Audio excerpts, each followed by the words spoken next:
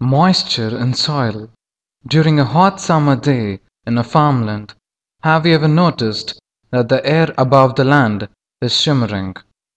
This is due to the presence of moisture in the soil. Due to the heat, the moisture from the soil evaporates and the air above it seems to shimmer because of the condensed water vapor.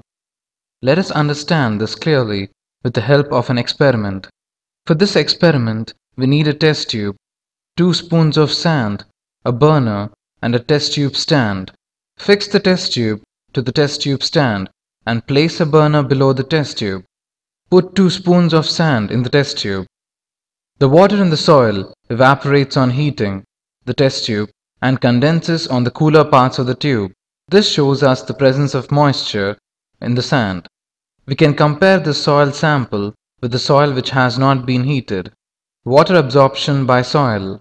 Soil has the capacity to absorb water, but do all soils have the same capacity to retain water? Let us find out through this small experiment. For this experiment, we need a funnel, a beaker, filter paper, soil samples, and a dropper. Take a funnel and place it on a beaker. Fold a filter paper and fill it with 50 grams of soil and place it in the funnel. Measure a certain amount of water using a measuring cylinder. Now pour this water all over the soil using a dropper. Keep pouring till the water begins to drip from the funnel. Subtract the amount of water from the measuring cylinder with the amount you started with. This gives the water retained by the soil. Record the results as follows.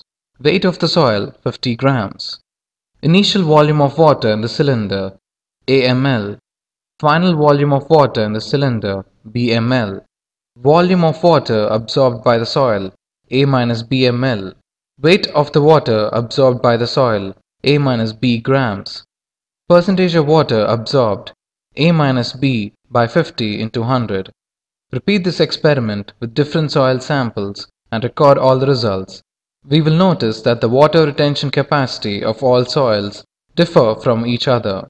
Find out which soil has the maximum water retention capacity and which has the minimum.